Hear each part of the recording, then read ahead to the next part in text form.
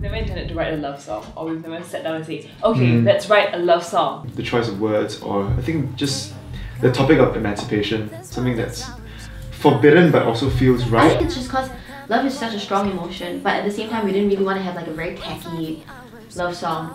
You know what I mean? When you do it this way, then there's still like a bit of sweetness, there's a lot of emotion in it. Yeah. My favourite song for sure is, at the moment, Take Heart. I think it resonates the most with me.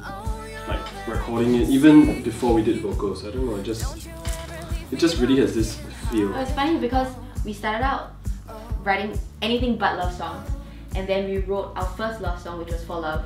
And then since then, So every- All of the love songs, yeah. in the melody hooks, in the lyrical concept, and just in the overall feel of the production. It's very fresh. I can't see any reason why Take Heart can't be on radio in Australia.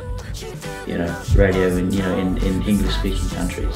Sort of our rebirth. I'm just so excited to release something because we haven't released anything in such a long time.